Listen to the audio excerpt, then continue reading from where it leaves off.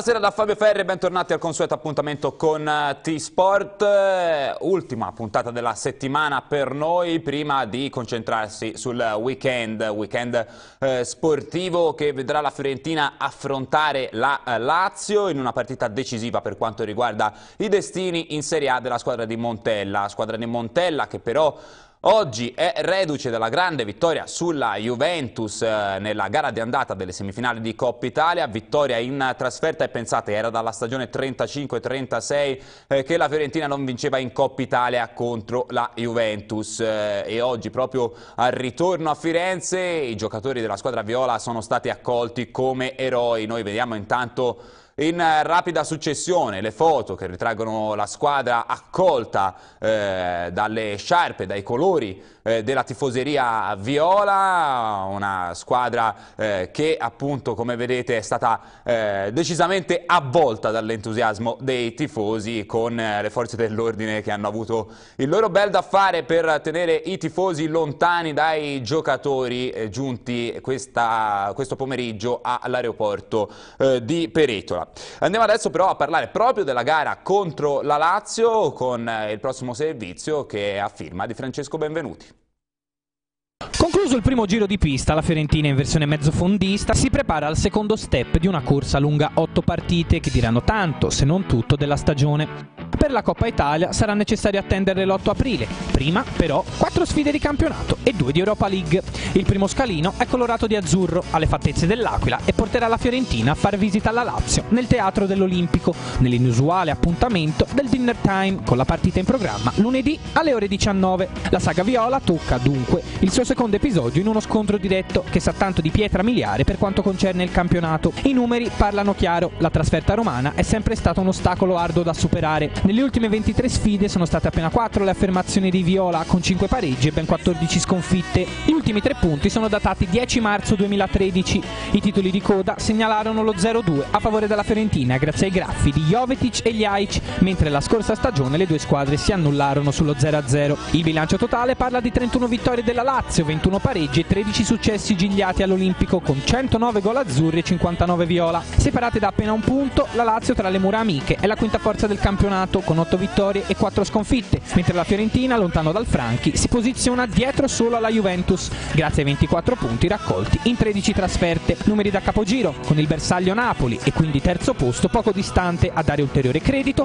ad una partita speciale che inevitabilmente sposterà gli equilibri nella lotta per l'Europa. Si dice che tutte le strade portino a Roma e nel calcio, almeno in casa fiorentina, sembra proprio così. Roma sarà la città sparring partner dei Viola per tre occasioni nei prossimi 10 giorni, dopo la sfida di campionato campionato con la Lazio, infatti, arriva il doppio turno di Europa League contro la Roma. La squadra di Vincenzo Montella riparte dalla stessa consapevolezza della Juventus, essere arrivata a marzo in lotta su tre fronti, un traguardo ancora più straordinario, ripensando agli affanni di inizio stagione e all'infinita lista di infortuni che si è abbattuta sul roster gigliato. Un marzo di fuoco che parte con tante aspettative. A livello di campionato, a dare ulteriore gusto a questo rush finale, dopo la Lazio saranno Milan, Udinese e Sampdoria le avversarie di Salah e Company. Roma non è stata costruita in un giorno, ma in un giorno a Roma molto del futuro italico della Fiorentina verrà certificato per un mese da vivere tutto d'un fiato per dare forma ai sogni di un'intera città.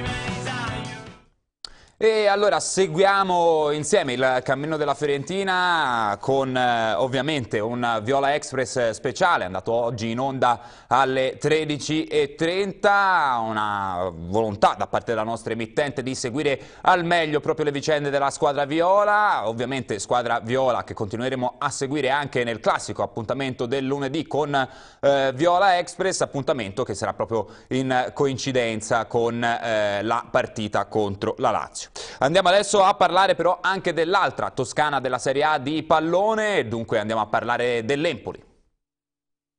13 giornate dal termine, 8 punti di margine sulla zona retrocessione. Tutto deciso? Non ancora, ma quasi.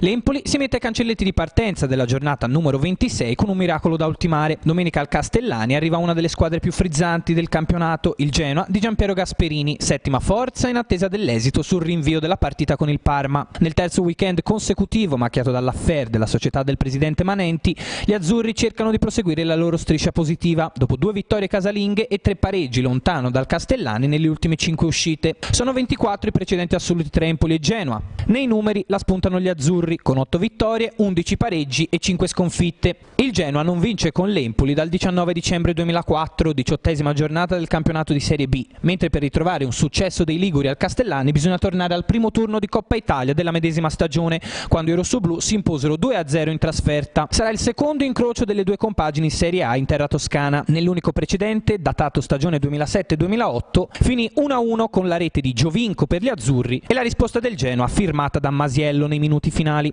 Nel match d'andata, medesimo punteggio, al vantaggio di Bertolacci per la squadra del presidente Preziosi rispose Tonelli ad un quarto d'ora dalla fine. Si affronteranno inoltre la dodicesima forza del campionato in casa, l'Empoli con 17 punti raccolti e la quinta fuori dalle mura amiche, il Genoa, capace di ottenere 19 punti in 12 trasferte. I rossoblù si sono ormai messi alle spalle un periodo avaro di soddisfazioni che si è consumato tra dicembre e gennaio, con appena tre pareggi ed altrettante sconfitte in sei partite, e che ha lasciato poi campo a due affermazioni con Lazio e Verona e al pareggio nel derby. Ci sono tutti gli ingredienti per un match ad alto ritmo tra due delle squadre più sorprendenti di questi primi due terzi di stagione e per questo i due tecnici proseguiranno il loro percorso anche a livello tattico, senza stravolgimenti dell'ultimo minuto.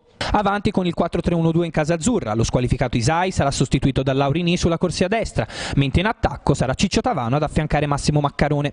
Per il Genoa il 3-4-3, marchio di fabbrica di Gasperini, vedrà la probabile conferma di Roncaglia, nonostante il grave errore nel derby che ha spianato la strada al gol del pareggio di Eder, e l'utilizzo di Niang in attacco accanto a Iago Falco e Perotti, un terzetto dinamico, imprevedibile dal talento cristallino che ha segnato 7 degli ultimi 12 gol del Genoa. Genova sarà caput mundi per il weekend calcistico impolese. Oltre allo scontro diretto con il Genoa, gli azzurri seguiranno con particolare attenzione i 90 minuti del Ferraris, dove sabato alle ore 18 la Sampdoria sfiderà il Cagliari. In caso di eventuale sconfitta degli uomini di Gianfranco Zola, il risultato del Castellani potrebbe mettere una pietra sopra il discorso salvezza, al di là di ogni ragionevole dubbio. Una bella motivazione aggiuntiva per regalare al pubblico azzurro la sesta vittoria della stagione, l'ennesimo tassello di un campionato fin qui memorabile. E parliamo adesso di volley femminile di Serie A1 dopo la pausa dello scorso weekend legata alle partite delle finali di Coppa Italia. Tornano in campo sia la Savino del Bene Scandicci sia il Bisonte Firenze per eh, due impegni importanti, soprattutto eh, quello della Savino contro Montichiari, un impegno per cercare di centrare i playoff e dunque la qualificazione alla post-season. Coach Bellano non lo ritiene il match dell'anno, ma per le ambizioni di playoff della Savino del Bene Scandicci, la gara di domani al Palasport Jimmy Giorgio di Montichiari sarà un crocevia importante.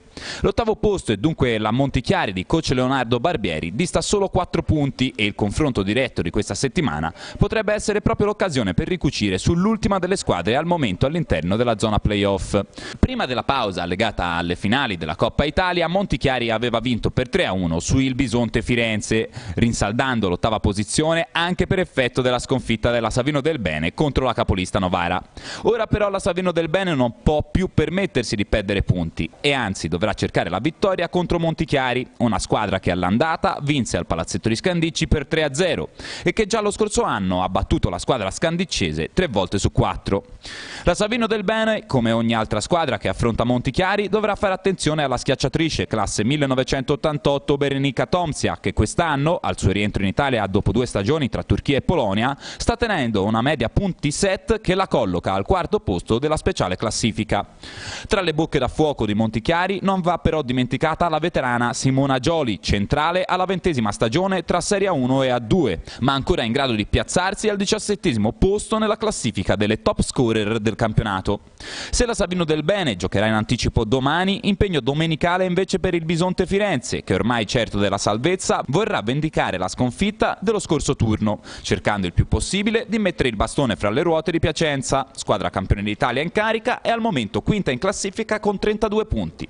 La formazione emiliana ha vinto 13 partite su 18, ma all'andata fu sorpresa dalla squadra di Vannini che al Palabanca di Piacenza vinse 1-3. Per battere le piacentine, le ragazze di Vannini dovranno arginare Liz Vaneke, miglior realizzatrice della Serie A1 nel 2012-2013 ed oggi una delle migliori sette attaccanti del campionato, con 4,39 punti per 7. Weekend sportivo che però non parla solo di calcio e pallavolo, ma anche di rugby. Tornano infatti in campo le toscane della Serie A. La Serie A di rugby, dopo la pausa legata agli impegni del Sei Nazioni, torna in campo questo weekend con due impegni fondamentali per le due compagini toscane del secondo livello del rugby italiano. Per il Firenze Rugby 1931, dopo i disagi legati al forte vento che ha reso impossibile le attività al campo Lodigiani nella giornata di ieri, tutto sembra pronto per la gara di domenica contro l'Unione Rugby Capitolina. La società è infatti già a lavoro per risistemare i danni riportati dalla struttura e per domenica non sono previste variazioni di campo. La squadra di coach Marco De Rossi, reduce dalla vittoria esterna su Piacenza, ha lavorato molto durante la settimana di stop e si è preparata per la gara contro la capolista del girone 1 della pool retro retrocessione.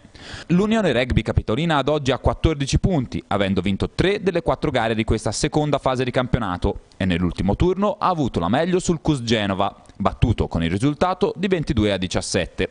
Capitolina e Firenze Rugby si sono già affrontate due volte in questa stagione, entrambe nella prima fase del campionato.